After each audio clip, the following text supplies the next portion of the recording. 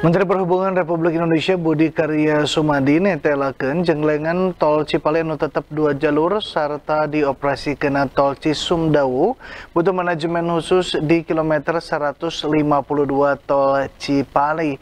Pihaknya mengharap kepolisian tur jasa marga kolaborasi ngitung jumlah nomor mudik nu ngaliwatan pasaling singna arus mudik di Cisumdawu turta Cipali.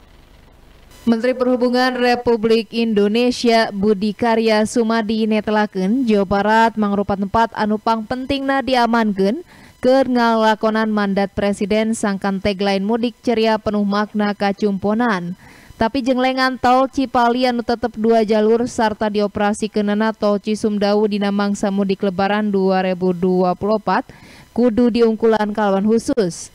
Pangnak itu pasaling singna arus mudik di kilometer 152 tol Cipali Sarato Cisumdawu dirong bakal mucunghulkeun kontraksi kukituna butuh manajemen khusus. Antukna dirina miharap Polri sarta jasa marga nyorang kolaborasi ngitung lolongkrang jumlah kendaraan anu marudik anu bakal ngaliwat ka eta. Kita tahu bersama bahwa Cipali tetap dua jalur, Cisembawu akan beroperasi sehingga di kilometer 152 itu terjadi satu kontraksi sehingga perlu manajemen yang khusus.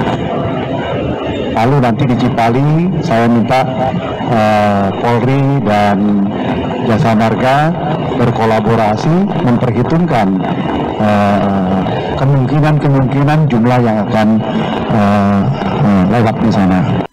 Sajroning gitu, PJ Gubernur Jawa Barat Bey Mahmudin optimis arus mudik di Jawa Barat bakal dipaju kalawan lancar luyukan pangrojong ti sakumna pihak anu kabaud.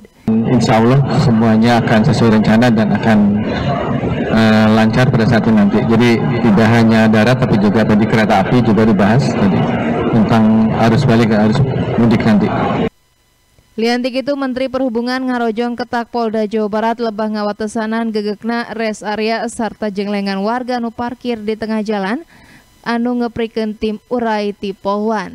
Diri nage ngapresiasi pemerintah Provinsi Jawa Barat bebarengan jeng Polda serta Pangdam anu nyieun kawijakan ku cara masrahkeun CSR ka padagang di Pasar Tumpah serta kusir Delman sangkan henteu nambangan salila arus mudik serta arus balik lebaran. Budi Hartati, Bandung TV.